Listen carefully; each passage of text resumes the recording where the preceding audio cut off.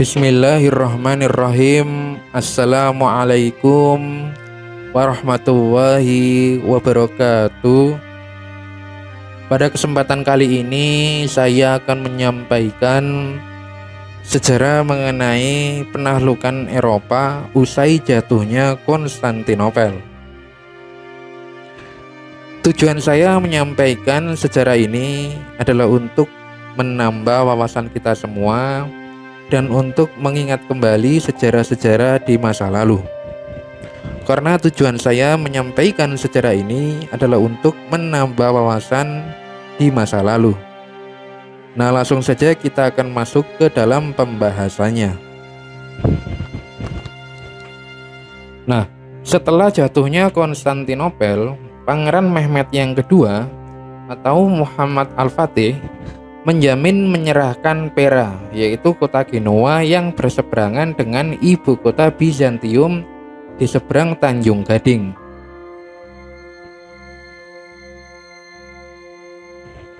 Dan kemudian pada tahun berikutnya ia menyerang Serbia. Dalam dua gerakan yaitu pada tahun 1454 dan tahun 1455 Masehi di mana ketika itu ia merebut Novo Brodo dan daerah tambang perak di selatan Serbia.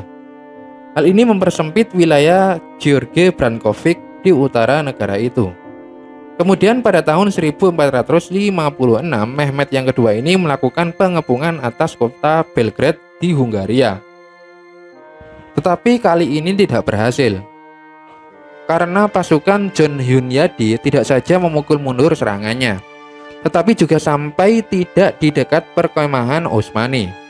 Kemenangan ini menyelamatkan Hungaria dari invasi dalam skala penuh, namun tidak mencegah pembasmian terakhir Serbia.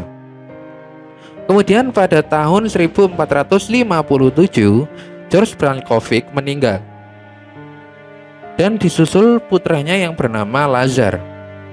Nah, kematiannya ini membuka wilayahnya untuk invasi Raja Matias Konvinus dari Hungaria atau juga daripada Sultan Mehmet yang kedua.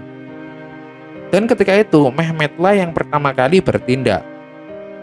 Kemudian pada tahun 1458 pasukan di bawah vizir atau wazir berdarah Serbia yaitu Mahmud Pasha Dirinya ini melaksanakan invasi dan dengan kemampuan politiknya dan pasukan militernya, ia memenangi Golobat, kemudian Smederevo, dan benteng-benteng penting lainnya.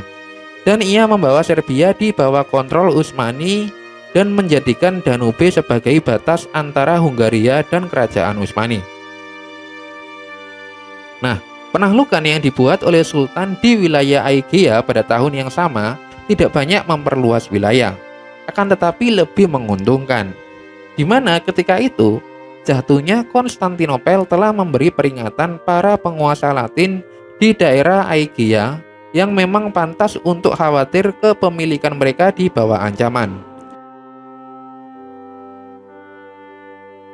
Khususnya Venezia yang khawatir keselamatan Negroponte Venesia kemudian menggabungkan pulau-pulau di selatan Sporades untuk membentuk sebuah garis pertahanan utara. Pada saat yang sama, mereka kemudian mengejar negosiasi dengan Sultan Mehmet. Nah, upaya ini menghasilkan sebuah perjanjian yang mengizinkan mereka bebas melaksanakan perdagangan dan mempertahankan sebuah koloni dengan seorang bailo.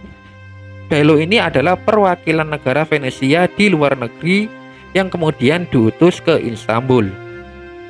Nah, koloni Genoa yang mendapat serangan yaitu pada tahun 1455. Yang mana ketika itu Sultan Mehmet ini melepas sebuah armada yang melumpuhkan dua pemukiman Genoa, yaitu di Pokaia Lama dan kemudian juga di Pokia Baru, yaitu di seberang pantai Anatolia karena melihat keuntungan dari tambang tawas yang dihasilkan dari daerah itu. Nah, demikianlah sejarah singkat mengenai penaklukan Eropa usai jatuhnya Konstantinopel yang dapat saya sampaikan. Semoga yang sedikit ini dapat menambah wawasan kita semua karena tujuan saya menyampaikan sejarah ini adalah untuk menambah wawasan kita semua. Akhirul kalam wallahu alam bisawab billahi taufik wal hidayah wassalamualaikum warahmatullahi wabarakatuh.